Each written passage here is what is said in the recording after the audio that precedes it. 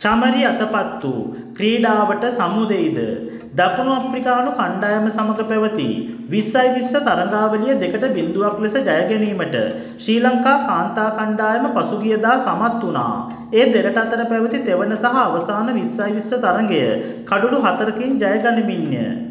තරගේ ප්‍රථමයෙන්ම පන්දුවට පහරදුන් දකුණු අප්‍රිකානු කණ්ඩායම නියමිත පන්දුවාර විස්ස තුළදී කඩුළු හයක් දැවී රැස්කරගත් ලකුණු සංඛ්‍යාව එකසිය පනස් පහකි. ජයග්‍රහණය සඳහා ලකුණු එකසිය පනස්සයක ඉලක්කයක් හබාගිය ශ්‍රී ලංකා කණ්ඩායම.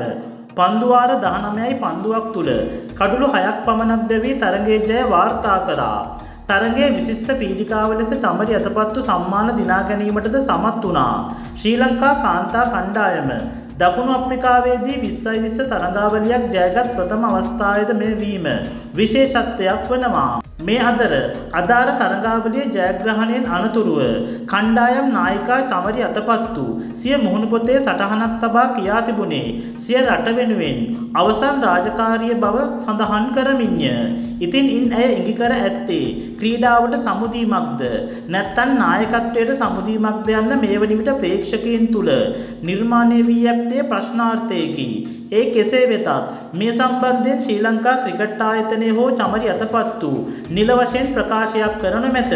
ඉතින් චමරි අතපැත්තු ගැන ඔයාලටත් හිතන දේ කමෙන්ට් එකක් දාගෙන යන්න.